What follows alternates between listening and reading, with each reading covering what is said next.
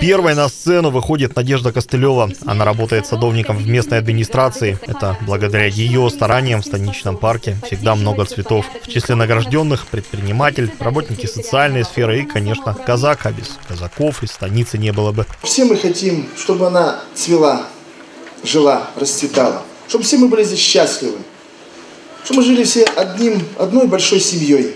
Чтобы просыпались с улыбкой, засыпали с улыбкой.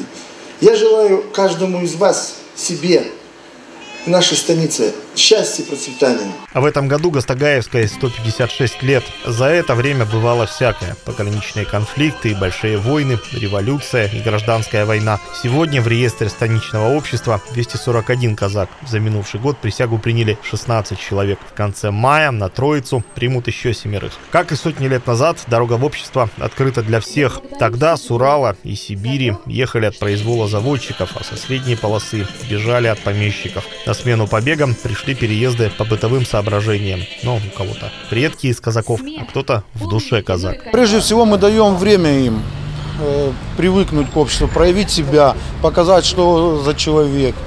Э, за этот период мы делаем оценку его работы.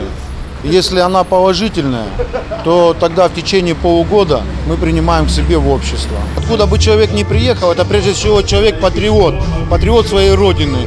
Он готов и служит на благо нашей Родины. И это основной из принципов, по которому идут люди в казачество. Большой приток новых жителей говорит о привлекательности станицы. Здесь есть вся необходимая инфраструктура. Школы, детские сады, около 80 магазинов, в том числе крупные, сетевые. Каждый год появляется более 100 новых домов. Я считаю, что станичный вот уклад, именно связанный с казачеством, нет, не теряется. Но новый приток э, людей, новые свежие силы, силы. Я думаю, новое новшество для станицы это тоже играет очень позитивно. В минувшем году появилась площадка с тренажерами. Идет ремонт дорог, продолжается газификация. Вместе с тем, здесь продолжают сохранять традиции. Уже к началу нового учебного года Гастагаевская откроет еще три казачьих класса. Их станет уже 9.